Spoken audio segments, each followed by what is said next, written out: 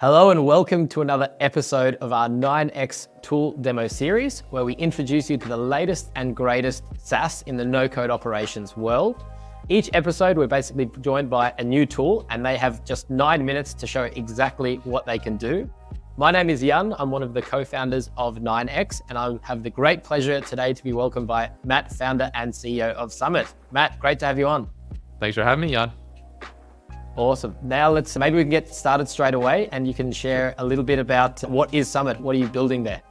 Yeah, so Summit is a no code platform that allows users to build what we call models. And models are new building blocks for your existing workflows. So think of them as APIs you can call, but that means they're really easy to call from places like Zapier, HubSpot, and Make. Ah, gotcha. Because I think one interesting point when I was first looking at Summit, when you, I saw the different like workflows and things that you built, I sort of had the idea that it could be something that you would be replacing Zapier with, but actually it's more about even enriching your workflows further. Yeah, exactly. We, you know, there can be a lot of investment in a platform like a Zapier or Make or a HubSpot. And so rather than getting people to migrate over, we say, you know, what are the limitations? What are the things you wish you could do?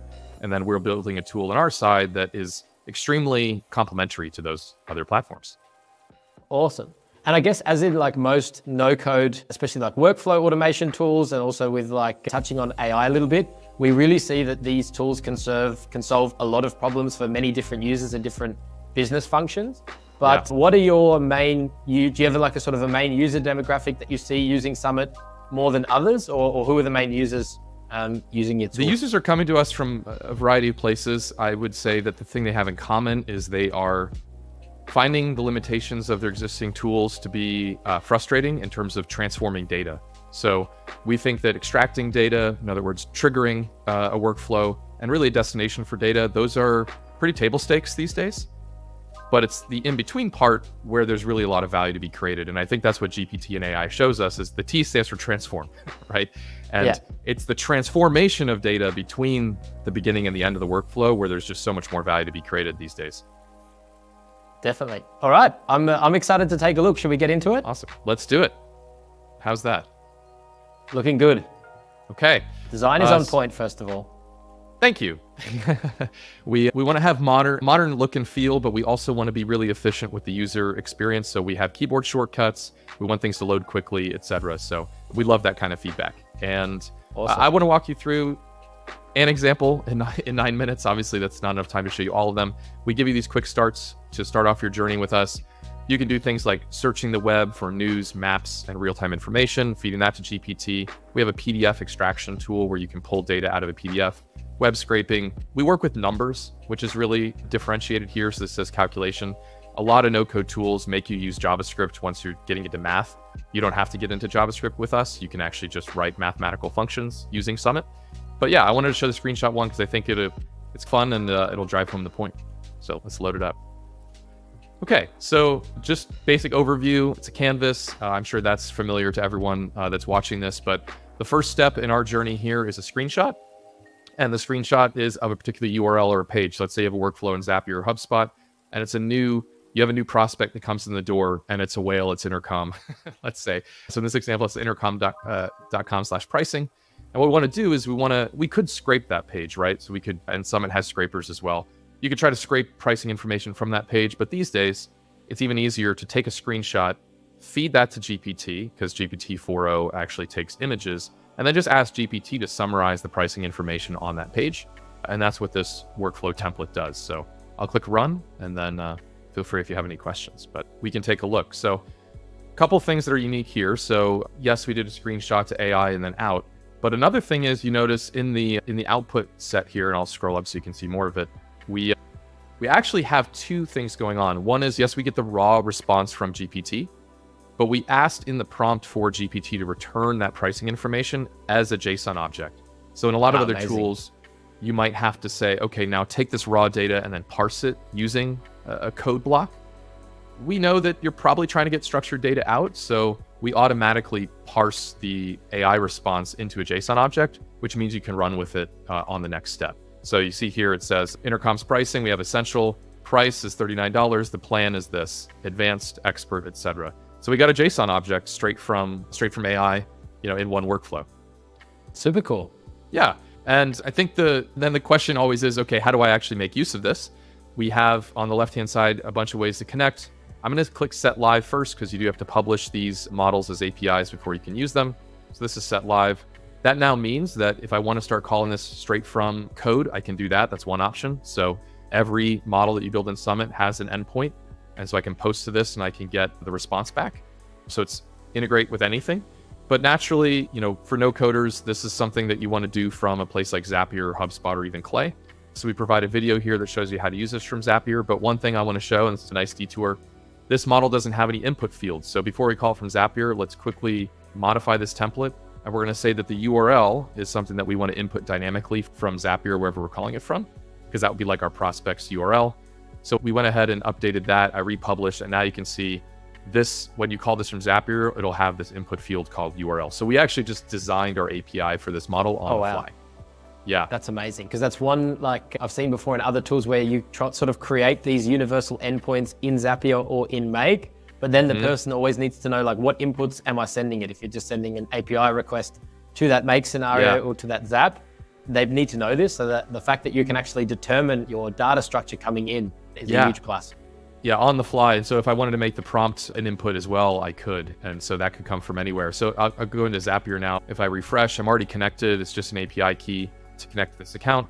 So then let's make sure that this is actually connected to the right account.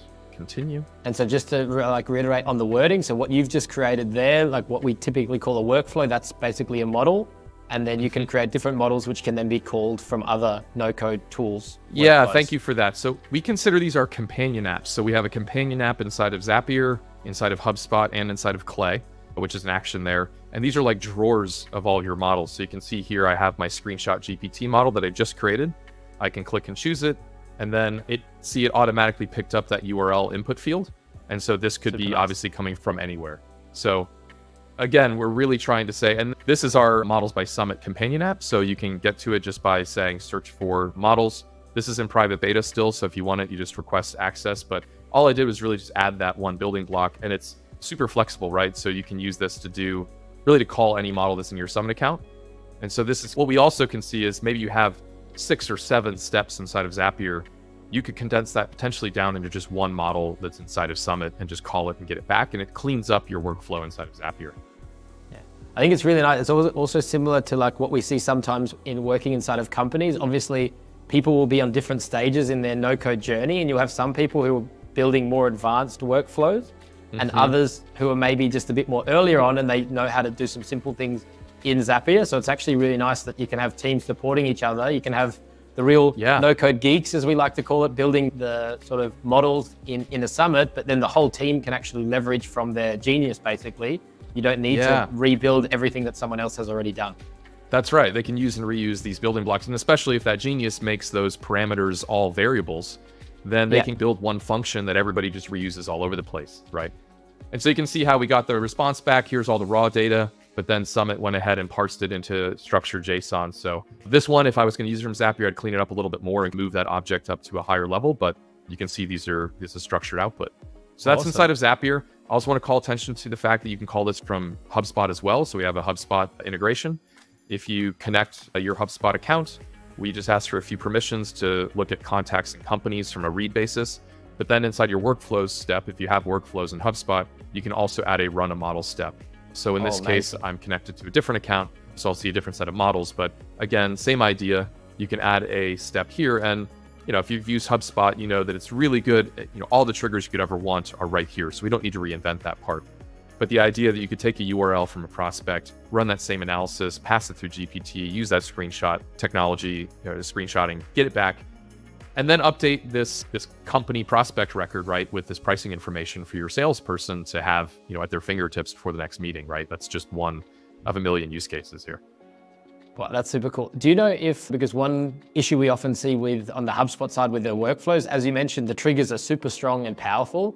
But for instance, what we like to use a lot is webhooks, and that's something that's only available for, I believe, enterprise or professional level on the service plan, so quite expensive.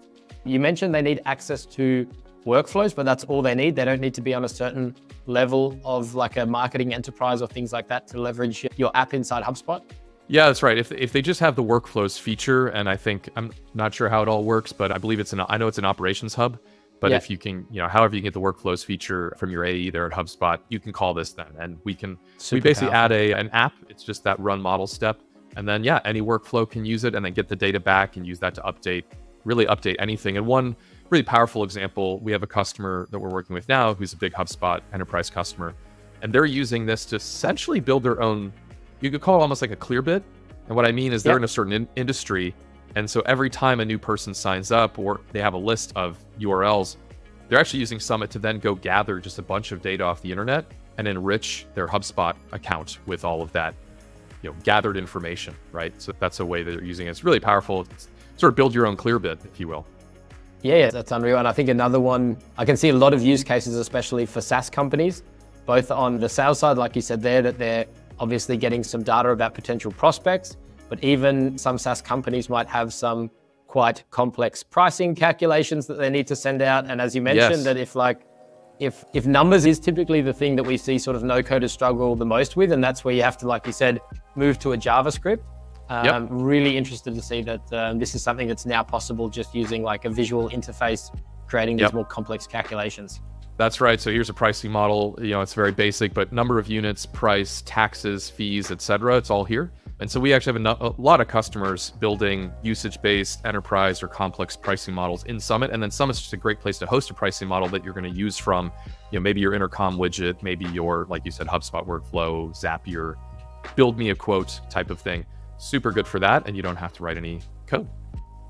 Amazing. Cool. Then thank you so much for the uh, demo. I think I've got a couple of like wrapping up questions. So first yeah, of all, what's the best way for someone to get started with Summit? I noticed there were some certain like syntaxes in there that you were using, so maybe it's slightly different to yeah. building in Zapier or in Make, but what do you typically yep. see as the learning curve for new Summit users? Yeah, best way to get started is to start with one of these quick start templates.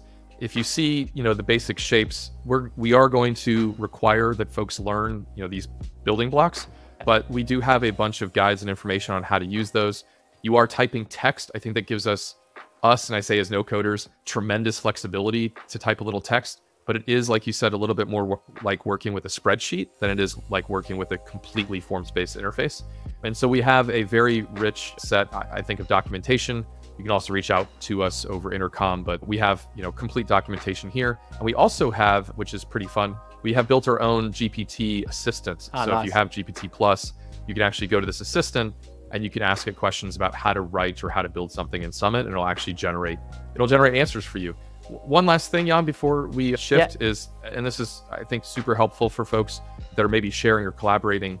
Every model you build inside Summit is also text based, and I, I want to show you what I mean by that. So this model can be imported as text and it can be exported as text. And that's one thing that we're doing that I think is very unique is that because we've made the decision to work and build from a language that's more like spreadsheets, the ability to share, show, and import, export, and maybe even build these as templates for you know your customers. So if you want to build a function in Summit that say does this, put it up on you know Lemon Squeezy or Gumroad or someplace like that and sell it, or just use it as a free you know a free offering. You can actually write text-based models in Summit for other people to use. Amazing, and I can already see that from that uh, little text snippet that you obviously protecting API keys and, and things like that out yes. of the box. So someone would just import this, they'd have to yep. reconnect their API keys, and then they're pretty much uh, good to go. It just works, exactly. Very cool. And then like maybe just with wrapping it up. So uh, one question that we always like to ask here on the, the nine minute tool demos, which is often the, some say the million dollar question, but uh, what's, what's, what's your pricing uh, look like? Because obviously I think your solution has so much value to add. As you mentioned, it's a good workaround for, let's say, the where HubSpot might not have enough features or might make you pay exorbitant amount of money to get those features in an enterprise level, or sometimes you might be doing something in Zapier that just would otherwise take so many operations. You're making it a lot more efficient. So is your yeah. pricing sort of tapping into that a little bit? Absolutely. So we think that one thing about being a developer, and I've been a developer for 20 years as well, is that we get to get started with things really in a sandbox and kind of pay as you go. So we've implemented that for Summit as well. We do have a zero dollars to start. Everything you build and run inside of the development environment is free. It's only once you make a call from APIs, Zapier, HubSpot, Clay, etc., that it's uh, charged for. and it's completely usage based. So we have a credits based system. If you're familiar with Clay, Clay yep. has a credits based system as well. I think it's the future because it means that if you know if you get 25 cents or five dollars worth of value, you pay us 10 cents or five cents. That feels fair, and there's no minimum hurdle that you have to overcome. And I also think, from a sales standpoint, this is very nice because maybe you say, look, I think it'd be awesome to do this for our prospects, but we have a thousand prospects a month.